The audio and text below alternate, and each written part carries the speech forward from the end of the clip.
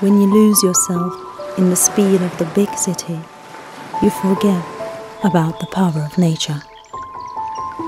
The shining sun, the sand underneath your soles, and the sound of the deep blue sea nurtures your soul.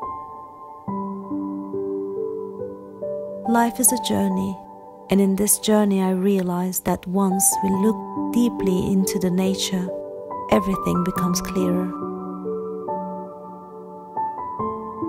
To look and to see, to live and to feel are not the same.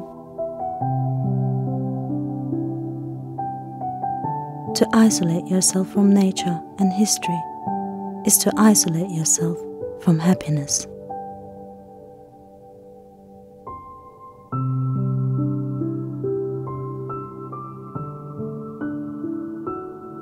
The greatest gift I can give to myself is a life in harmony with nature, glamour, and comfort.